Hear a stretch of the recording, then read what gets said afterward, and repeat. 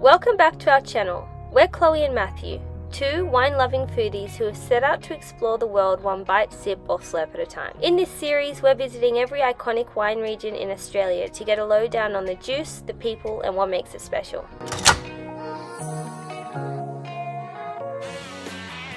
And we're back, guys, for round two of the Big Bad Barossa. Today we're going to focus on some of the smaller guys, the lesser known or new startups. Join us for the adventure.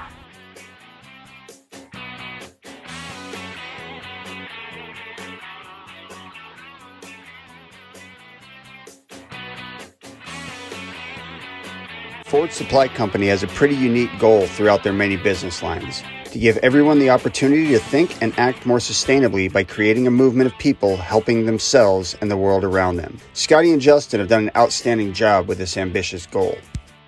Wow. block down here that we're looking at right now is our baby block. So we planted up Grenache, Carignan and Montepulciano. And then we'll plant up some bush vine Tempranillo on the hill face there. So it's a bit like the Gingatira sort style. Yeah. It's a bit of a lineup. So we want to showcase how we produce milk more sustainably and how we give back to the community. So Yeah. we've hired over 10,000 hours of homelessness through our catering company and um, wine growing company. We've got three school-based community gardens, we've got the school in season.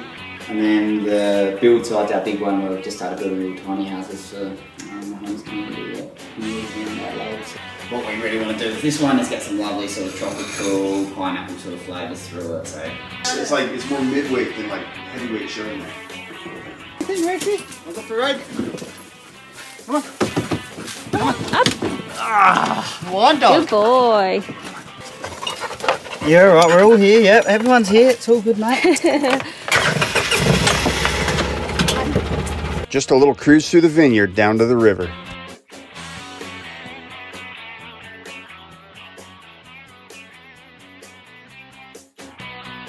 And he's in oil. Yep. It's like I see him. Rex, you're not gonna catch it. Come here. yeah, so that is from the block right there. So that's uh, that's where it all started. What's in build? Rexy is having a time of his life. Part of this charming property is the old cottage above us that was converted into an Airbnb, and this special little cellar below that we're in now. We want one of these. I'm looking for the same as five years as well. What made you choose not to Cristiano? Love just travelling through those regions, love the life at Barnes Bay.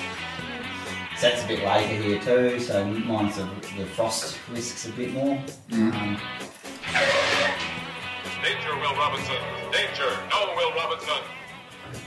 just a great, Puppy is going nuts. Maybe time to hit a dog park. such a delicious.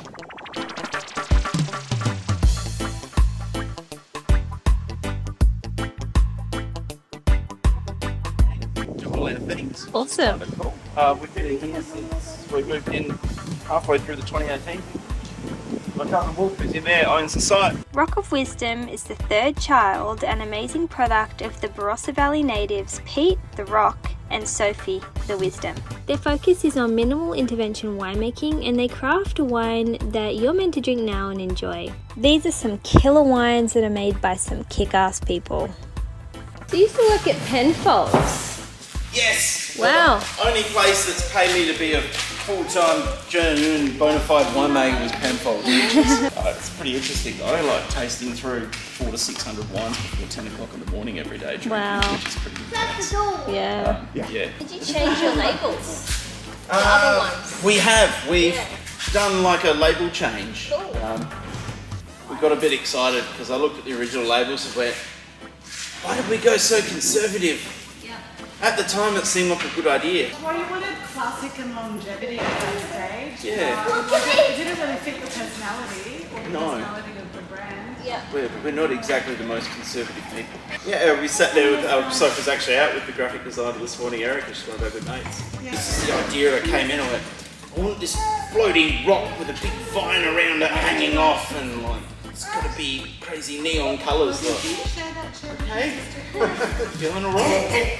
Yeah, it's gonna be really cool, but like, it needs this big vine wrapped around it. Why? I'm like, because you know, it means rock, and Sophie means wisdom, and the vine is the wisdom because it's nature and caring. And I'm the rock because I'm the stubborn idiot that needs Soph to point out what's happening in the universe.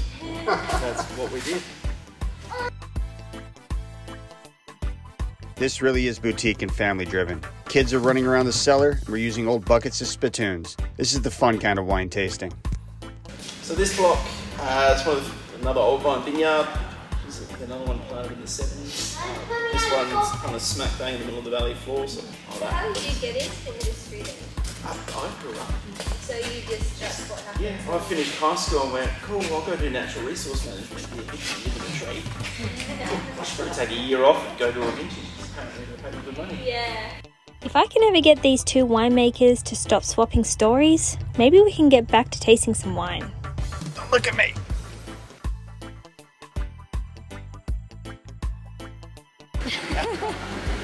Classic winemaker. Look- Look at me, I'm bloody Spider Man. Here we go. So this one is the Shiraz Marsanne co-ferment. It's the same vineyard as Shiraz um, and same type of oak.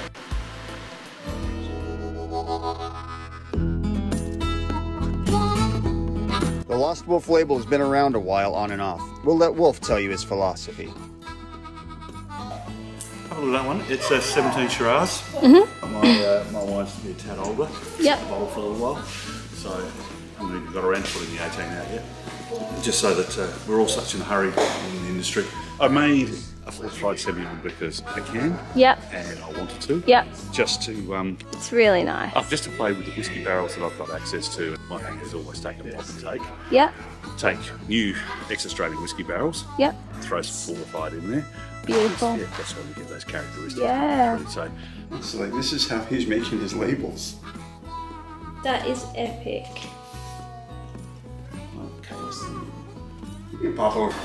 So basically, it's a, for want of a better word, it's a windmill press. Mm-hmm.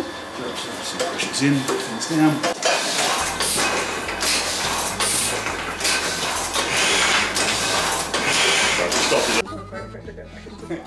You just want it poured out of the bottle because it's pretty. 2012 Torbreck Run Rig decanted in a sample pitcher. This is a oh, winemaker party, all right. David Franz, the son of Peter Lehmann, is doing some fun stuff with his private label and winery. I'm gonna go drink wine in there. Do you want to come with me?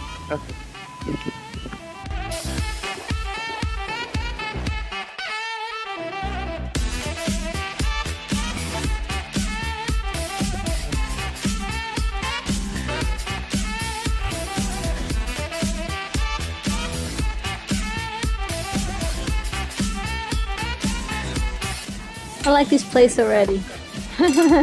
They gave us cider. That's pretty too. And a hangover, that's like perfect. Well, you hungover? Just a little dusty. Did you already order our food? You selected it without any help? No guidance? These wines had a delicious softness and drinkability. They pair beautifully with the upcoming charcuterie board.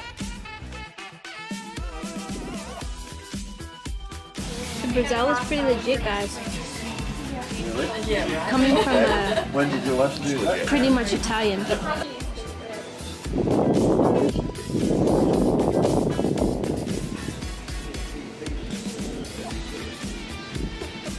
This winery was recommended to us multiple times and it didn't disappoint. Definitely not your expected or typical style of Barossa wines.